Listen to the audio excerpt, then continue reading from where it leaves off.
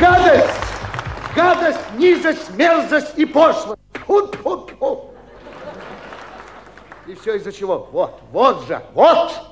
Только из-за этого, вот. Вот, чтобы эти доллары нахапать и набить ими сюда, сюда, сюда, сюда. Я не знаю еще куда. И на что они не идут только там, в этом мире чистогана. Клеветы, клеветы на наш истинно социалистический образ жизни. Фу! Интересно, долетит до Нью-Йорка или нет, а? Да вы не представляете, приезжает к ним туда из Советского Союза человек, не по линии борьбы за мир, как я, а сам по себе. О. Одним единственным желанием никогда больше не идти в авангарде всего прогрессивного человечества. Я, я говорю, вот. Я даже больше скажу, вот. И если этого иммигранта в первом же магазине после границы не разбивает инсульт, он уже к концу третьей недели отъедается и сразу начинает тосковать.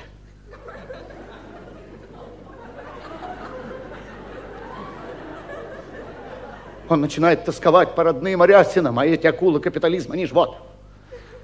Что придумали, прямо под Нью-Йорком построили городок аттракционов типа Диснейленда, называется «Русские радости».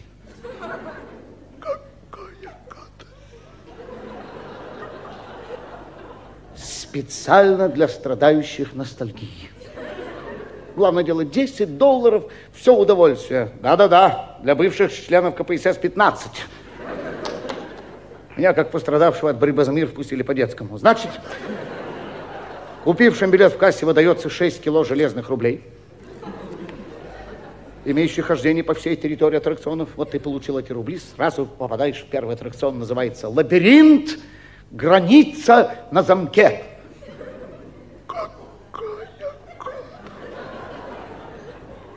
При входе столб с табличкой СССР, за ним шлагбаум – и сразу за шлагбаумом, за поворотом в засаде сидит Карацупа с Жульбарсом.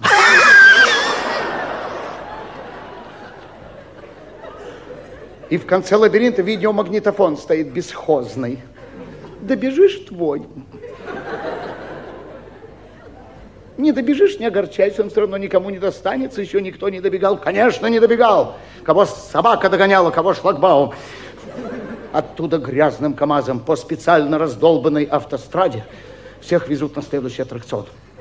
По дороге те, кому шлагбаумом не отшибло речи, начинают уверять, что на них уже повеяло чем-то родным и до боли близким. И тут этот КАМАЗ резко тормозит, и толстый негр-шофер с сильным алабамским акцентом говорит «Вытрухайся, ядрен!»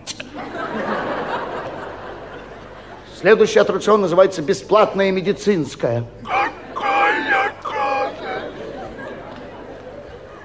Здесь все строго в порядке живой очереди, ложатся на сквознячке между помойкой и туалетом.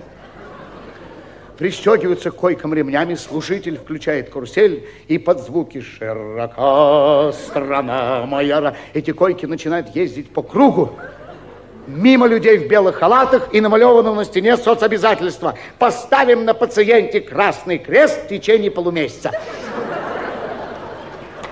Первый человек белым спрашивает у лежащего, что болит, второй бьет его молотком по коленке, третий пишет фломастером на проплывающем лбу любимое слово из трех букв ОРЗ. А не то, что ты подумал. Четвертый протирает ему пальчик ваткой, пятый засаживает клизму по сих пор. После клизмы все начинается сначала. Широка страна моя рада. Покрутившись положенные восемь кругов. И консультант отстегивается от коек и всхлипывает нахлынувших воспоминаний и торчащих уже отсюда и отсюда клизм по специально залитому гололеду на карачках доползает до запертой двери с табличкой «Скоро буду». Там они образуют очередь, стоят в этой очереди часа три, матеря советскую власть. Потом дверь открывается, и пьяная тетка, и Кая всех приглашает на популярный в народе аттракцион продовольственная программа. Играющий бросает железный рубль в автомат и дергает за ручку. Десять минут в эту сторону и 15 в ту. Ровно через 25 минут в этом автомате что-то щелкает, тренькает, и в окошечке со звоном появляется табличка «Уйди, гнида!»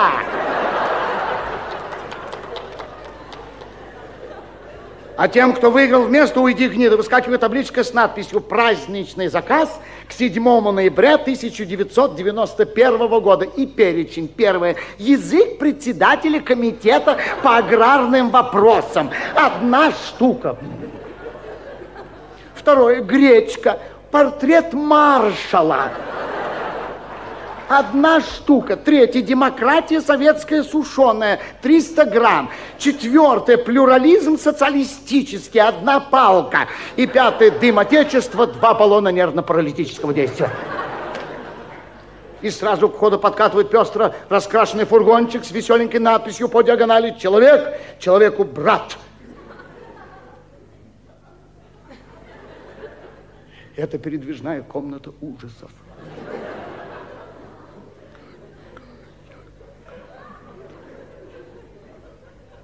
Что происходит зашедшим внутрь, не знаю. Я внутри не был, я врать не буду. Я знаю точно одно, что оттуда доносятся молодецкие звуки.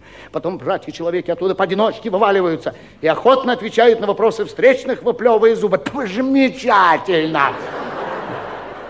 И ковыляют на пристань, откуда каждые два часа отваливает на прогулку пароход, дружба народов, где каждый может найти себе по вкусу и народца, и тихонечко удавить. И на этом оплаченное время заканчивается.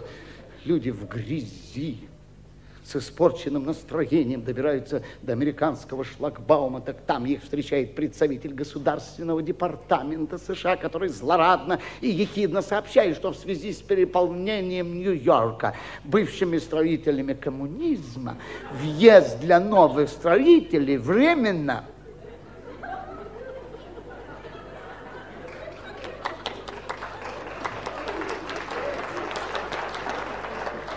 И пока там не... Он предлагает за те же 10 долларов пройти весь курс аттракционов в обратном порядке. И люди уже, проклиная свою бывшую родину, добираются до столба с табличкой СССР, стельку напиваются с карацупой. Бьют морду Джульбарсу. Трижды по русскому обычаю целует шлагбаум и, покачиваясь, уходит в каменные джунгли Нью-Йорка, в этот жуткий мир чистогана, наживы и клеветы бессовестной клеветы на наш истинно социалистический образ жизни. О!